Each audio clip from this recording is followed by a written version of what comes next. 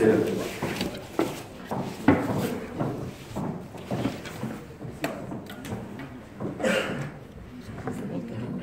Alzata di mano, procediamo così oggi. Vai, Amedeo. Buonasera Spalletti, facciamo più compleanni se poi le risposte sono così belle in campo, ha avuto soddisfazioni al di là degli avversari, per la qualità degli avversari che certamente magari è inferiore ad altri avversari. Hanno lavorato in maniera seria, si sono preparati in maniera seria, hanno fatto una partita seria, una prestazione seria e un risultato altrettanto serio. Perché, perché come ho detto prima, dai, dovrei ripetere le stesse cose, hanno fatto giocare la palla in velocità, hanno comandato la partita, li hanno un po' storditi a forza di non fargli trovare il, il posto dove aggredire, hanno fatto dei metri e poi è diventato tutto più facile perché quando li costringi a rincorrere la palla non ce la trovano, poi sono, sono fatichette che si sentono nei muscoli e poi fanno la differenza. Poi abbiamo anche riaggredito bene, quando abbiamo perso palla non abbiamo riaggredito, con i centrali siamo sempre stati addosso a Albeck eh, in maniera da anticipo, copertura, anticipo, copertura per questo. Molto bene sono. Ci sono giornalisti rumeni che necessitano la traduzione? Andiamo avanti senza traduzione, grazie. Vado io? Buonasera mister.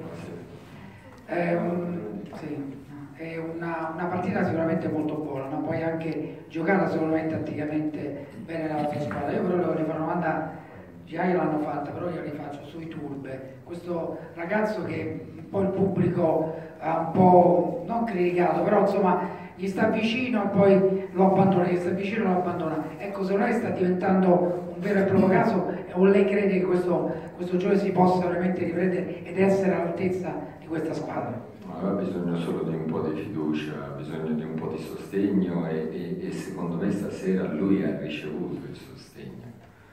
Non è stato abbandonato in alcuni momenti e che non è stato fortunato nella ricerca della soluzione, allora è stato più un, eh, un senso di dispiacere quello che ha poi incorniciato quel momento lì.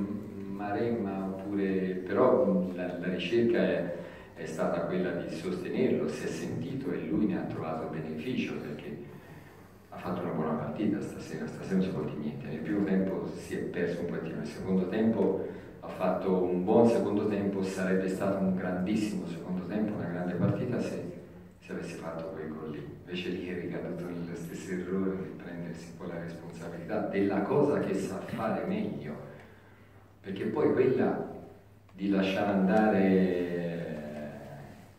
una, una cartella è la, è la cosa che sa fare meglio perché ha un tiro devastante invece non si è fidato e ha bisogno di un po' di tranquillità e di sentirsi la fiducia addosso, però è un bravissimo ragazzo, un grande atleta e, e- e noi ci contiamo.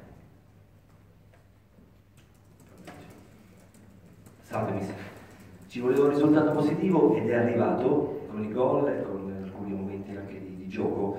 Eh, volevo che spendesse due parole per Paredes che mi sembra oggi abbia avuto un ritmo diverso dal solito e comunque va, va elogiato credo perché è un ruolo delicato quello. E volevo però puntare invece mister su una cosa che ha detto anche il tecnico dell'altra Giorgio ovvero mi è piaciuta ha detto la Roma grande in avanti in mezzo al campo però dietro ho visto una fase difensiva che non, non mi ha convinto ha detto il tecnico avversario. Ecco volevo queste, queste sue analisi. Grazie. Paredes è un calciatore ogni volta l'ho fatto giocare, quello di cui abbiamo parlato in precedenza, di quando poteva cambiare anche maglia, eh, perché c'erano dei club che lo volevano, e perché lui ha qualità, continuità, forza, piede, perché anche lui è stato sfortunato su due tiri da fuori perché ha lasciato andare voltate devastanti. Poi ha questa qualità di, di arrivarci scivolata sulle situazioni anche nella scivolata ha delle scelte di qualità nel, nel- nel chiudere poi passaggio, per cui ha fatto, ha fatto sicuramente bene. Ecco. La palla la sa far girare, sicuramente la sua qualità. La fase difensiva, eccetto quella volta dove eh, ha, gli è stata messa la palla dietro centrale di parte a Manolas dove Alibi che è andato a tirare ha fatto parata Alisson mi sembra che abbiano fatto tanto anzi secondo me hanno fatto bene perché sicuramente era abituato al peggio. E quindi stasera sono migliorati. E poi, e poi quando, quando ha, hanno tentato di rinnescare perché era un po' il loro disegno di partita riconquistare, giocare su di lui perché questo un calciatore questo davanti è uno che sa, sa salire a squadra poi è uno che è fisico, va subito addosso, lui non guardava mai la palla, andava sempre prima a contatto fisico con Manolas, andava dalla volta a Manolas e poi si preoccupava di, di appoggiare la palla e di farla cascare lì. Però non c'è quasi mai riuscito perché gliel'hanno levata quasi sempre, per cui non trovo grandissime sbavature, anche perché Jesus ha fatto bene la fase difensiva a sinistra, gli avevo chiesto di dare solo sostegno a Perotti senza andare poi a fare sovrapposizioni che da una parte si spingeva di più, da una parte si difendeva meglio e si ricreava sempre più sostanza alla linea difensiva, questo lo doveva fare lui e compito assolto, pieno. Grazie. Mi buonasera. A proposito della fase difensiva, eh, lei oggi è tornato a giocare con un terzino di spinta e un terzino più di copertura Volevo sapere se in questo momento a livello di equilibrio è, l'idea che comunque ha trovato per restituire un po' più di compattezza alla squadra anche per le prossime partite, perché questa magari non era così esemplificativa. Grazie. Ora sì, da quella parte lì sicuramente il, la, la, la, sostanza è venuta fuori in questa maniera, che lui ci ha dato un contributo. Però poi avevamo quattro giocatori molto offensivi dentro con, con Francesco trequartista e, e si è dato da fare, ha corso, però insomma la squadra era ugualmente di quelle che aveva la trazione offensiva, ecco, bisognava fare... dietro gli ha dato una mano, gli ha dato una mano, gli ha dato una mano Strotto, gli ha dato una mano Paredes, perché sono sempre rimasti lì a costruire, ma difficilmente poi siamo andati a giro per il campo a tentare di perdere l'equilibrio, per cui già loro due hanno dato una grandissima sostanza. Gesù, come dicevo prima, ha attaccato pochissimo, ha sostenuto Perotti lasciandogli quella piazzola da, da tre quarti fino alla bandierina libera per lui per potersi muovere e per poter fare corto lungo quanto gli pare con la palla da prendere sui piedi. Però secondo me hanno fatto bene ma non Manolas e Faccia, ecco sì, Gesù ci ha dato una mano e è sicuramente così che se si fa giocare lui c'è un po' più di sostanza, però la sostanza se poi fa un terzino che spinge e la palla si tiene in noi e costringe l'altro a fare il difensore, e la squadra fa bene uguale, si ritrova stessa, gli stessi numeri insomma, di compattezza e di forza a livello difensivo. Ecco. Dipende se ci riesce a sviluppare quelle che sono le nostre qualità. Poi è chiaro, terzino destro aperto, palla sulla destra, terzino destro che spinge, terzino sinistro da aperto comincia a chiudersi e comincia a venire dentro il campo. La palla torna dietro, sui centrali, terzino sinistro si apre, comincia a prendere la strada della bandierina, quell'altro prende la strada di casa e sempre poi uno va un po' di più, uno sta due mediani sotto palla, minimo 4, spesso 5 sotto palla per la reaggressione alla perdita di palla e per la prevenzione al tentativo di ripartenza. In questo però poi provare a creare a volte i metri si perdono di vista e si allungano, diventano metri di un metro e mezzo anziché di, di 100 centimetri.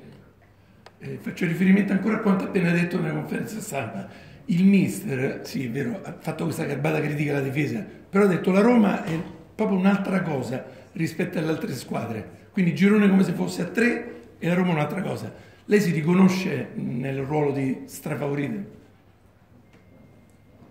Sì, sì, ma a me, a me potete dire che vi pare, nel senso che a me piace la mia squadra e bisogna sempre giocare per, per vincere per far vedere quello che è il nostro valore. Quelli dell'Inter la pensano uguale. Secondo me quelli dell'Inter la pensano, la pensano uguale. Poi c'è da giocarle le partite. Ci sono discorsi e c'è da giocarle. E, e diventa pericoloso soprattutto sicuramente siamo migliori di quelle due squadre che abbiamo visto. Io ho visto queste due e sono d'accordo con lei, noi siamo più forti di queste due. Però poi c'è da giocare partite, c'è da farlo vedere, c'è da prenderle seriamente, da, da dover vincere poi quello che è l'impatto con, eh, con il nostro valore in generale, perché a volte, come ho già detto, ci viene un po' di piedino, ci crea un po' di, di peso psicologico il confronto in Europa e, e, si vede poi che ci sono squadre forti uguali che, che trovano problemi anche loro, per cui non è niente scontato. Siamo più forti e per ora non lo abbiamo fatto così vedere nella partita d'andata, nella partita, nella prima partita, in questa partita qui sì, vediamo le altre però dopo che ci sei giocato si saprà qualcosa di più. Facciamo l'ultima da Dano. Mister, buonasera. Lui chiede se il 4-2-3-1 in questo momento è il modulo che le dà maggiori garanzie e sui portieri non è vero ma sembra essere insomma, coperta bene, sia la gestione del tipo Scesni campionato, Alison Coppa. 4-2-3-1 è una cosa che si riconosce che, e che diventa un, un, po più, un po' più riconoscibile perché è lo stesso discorso dei 5, è lo stesso discorso del mediano basso e le due mezzali. Quando gli altri iniziano l'azione con il mediano basso e le due mezzali, tu devi buttare fuori una mezzala che aiuta la prima punta nell'aggressione, perché da solo Anche succede. Quando la palla è sulla tua destra, comincia la mezzala destra.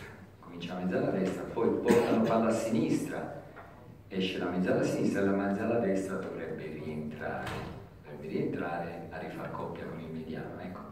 Quando poi la palla va da destra a sinistra, poi ti ritrovi con tutte e due le mezzali che rimangono a metà strada e davanti alla difesa ti rimane uno soltanto e quelle due piazzole, sia fra lui il terzino destro, fra lui il terzino sinistro, non sono facili da coprire e devi sempre andare a smucchiare poi la linea difensiva.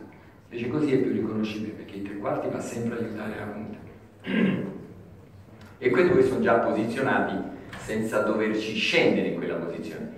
Perché salire e andare ad attaccare è facile, quando poi da là devi scendere, devi abbassarti per rifare la coppia dei mediani, quello è più difficile da fare e soprattutto nel giro palla degli avversari a volte poi ti porta ad averli tutti e due fuori. I portieri, fate giochi privati. giochi privati, come ho spiegato 20 volte, non so più come dire eh, se fa meglio Alisson in allenamento e quell'altro fa male in campionato, faccio ora. Scelby ha fatto molto bene, lui stasera ha fatto altrettanto bene, ma non è detto che, che sia così per sempre.